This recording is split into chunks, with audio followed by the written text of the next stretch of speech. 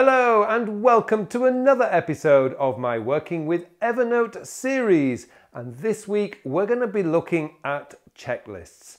Now, why checklists? Well, if you look at the airline industry, pilots are obsessed with checklists. They use checklists every single day. Now, for you and I, we may only fly once or twice a year. Probably not very much right at the moment, but we may fly once or twice a year. But for a pilot, they're flying every single day. And over the last couple of weeks, I've been watching videos of pilots at work. And one of the things that blew me away is that no matter what, how many times they fly per week, per month, per year, they follow the checklist. Now, one of the things that much struck me is how many times when you hear about plane crashes is it caused by human error? It's very rare that it's caused by the pilots because they follow the checklist. Now, when you bring that into your own life, when you create checklists for all the routinal stuff that you do every single day, that you must do every single day, these things are really powerful. And Evernote has some really cool tools and features that can make checklists so, so easy. And that's what I'm going to show you this week. Now, before we go any further, I would just like to say, if you do get any value from watching this video, then please help me by clicking on that like button below.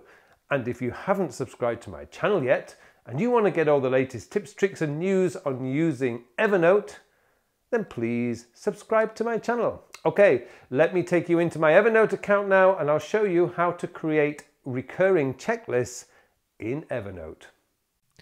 Okay, so here we are with my weekly planning checklist. Now, I'm just going to get some caveats out of the way right now is I'm not going to share the link to this checklist. The main reason for that is this has already got my own notes in here. There's not many, I admit, but in weeks go by, I am going to be adding more and more notes, and some of those will obviously be confidential. So I don't want to be sharing all my notes with everybody else. But these are really easy to actually make for yourself. And another reason why you want to be developing your very own weekly planning session is because you work in a different environment to me, you work in a different job to me. So you want to be creating your very own weekly planning session. For instance, maybe you don't use Todoist, maybe you use a different to-do list manager. So, you know, that's not going to work for you. So, and also the reviewing the master project list, obviously that's going to be a different link completely. So you need to create your very own. To create these, it's really simple. It's one table here with two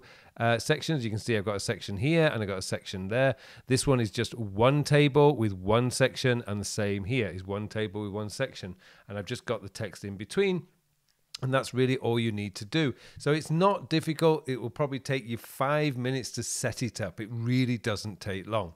So once you've got your checklist set up like this, I've got mine checked set up. How do you save this as a template? Well, what you need to do is you go up to the top right hand corner of your window, right here for the three dots or ellipses next to the share button. Click on that and you'll see somewhere down here save as template. So I'm going to save that as a template and I'm just going to call this, uh, I'm going to have to call this something different because I've already saved these a couple of times.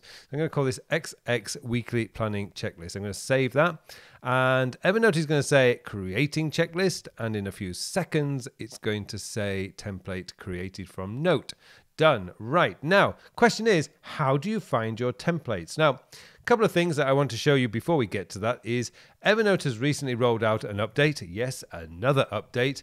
And now you'll find that when you click on the plus button, you now have to make a choice about what you want to do. It's not quite as simple as it used to be, which was click that and a new note would instantly appear.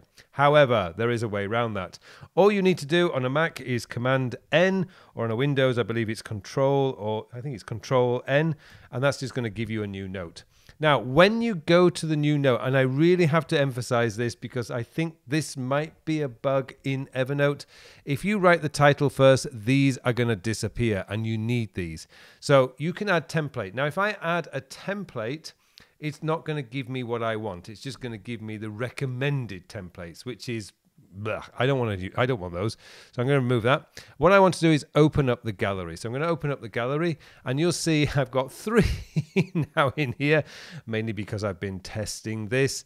Uh, so what I'm going to do is I'm going to remove that one. So three and delete that template. There you go. I can delete it right there. And by the way, some of these templates, these are just a lot of it is just from experimenting. So there's my template. So I'm going to click on that and it's immediately going to bring that in. Then I'm going to go to the title and I'm just going to put uh, my code for TextExpander, which gives me the date. And then I'm just going to put weekly planning so that's done. That's my temp. That's it. That's all I need to do. And now it's done. So I've got my checklist. It's right there and I can get into it. Now, that's essentially all you need to know about getting your templates in there.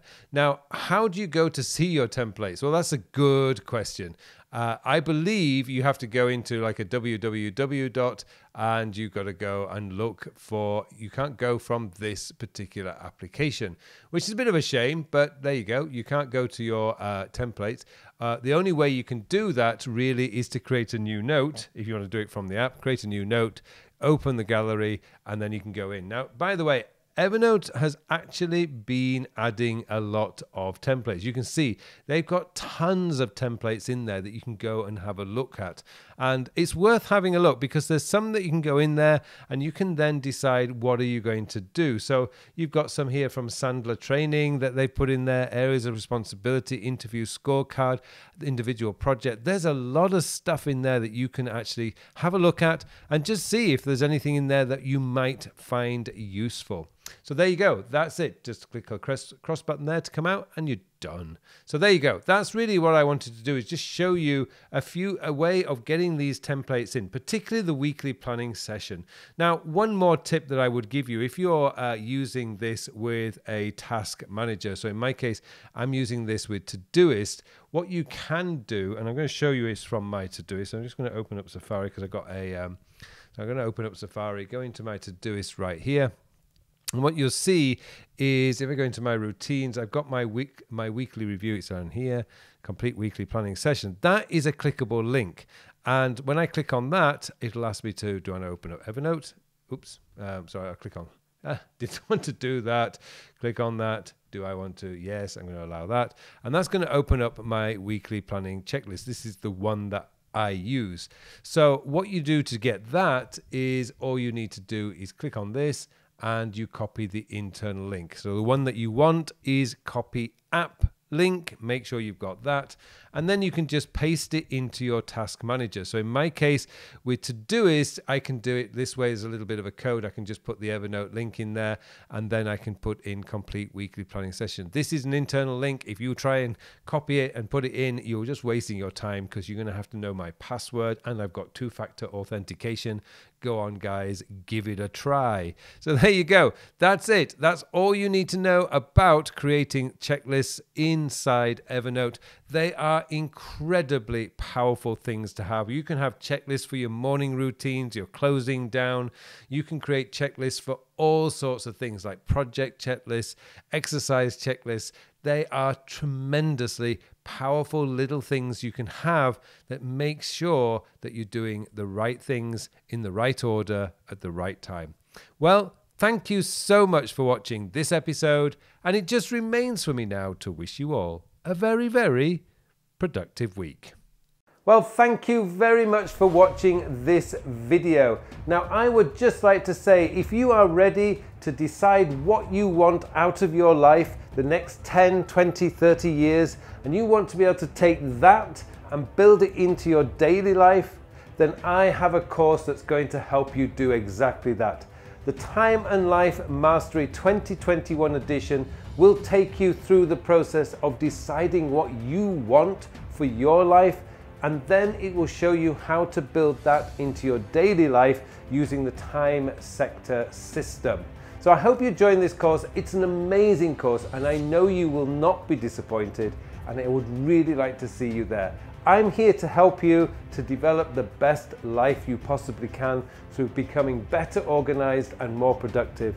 And that is what this course will show you what to do. Please join me in that course. Full details are in the details below.